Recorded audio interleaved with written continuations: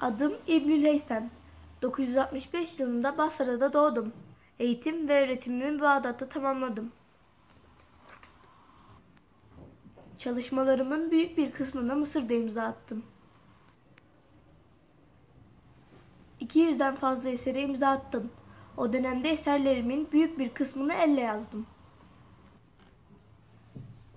Yalnızca astronomi dalında 24 adet esere sahibim. Bugün kullanılan müzikle tedaviyi de ilk kez ben ortaya çıkardım. Benim için geometri ile mantığı buluşturan ilk bilgin tanımlaması yapılıyor. Dört dereceli denklemlerin çözümünü sorunsuz bir şekilde gerçekleştirdim.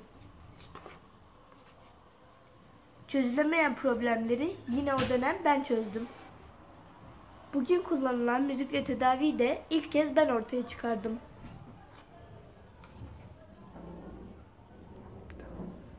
Benim için geometri ile mantığı buluşturan ilk bilgin tanımlaması yapılıyor.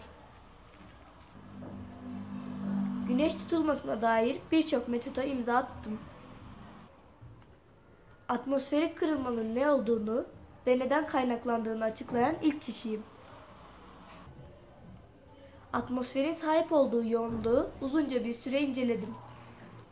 Bunun yanı sıra ağırlığın da cisimler üzerine nasıl etki ettiğini araştırdım. Yaşadığım dönemde birçok hastaya şifa verdim. Onların iyileşmesine katkım var. Göz anatomisini tarihte ilk kez tam manasıyla ve detaylı bir şekilde araştırdım. Optiğin babası olarak anılırım ve yaşadığım dönemde optik alanda en önemli çalışmaları ben yaptım. Işığın kaynağı, ışığın yansıması ve ışık kırılması üzerine ilk çalışmaları ben yaptım.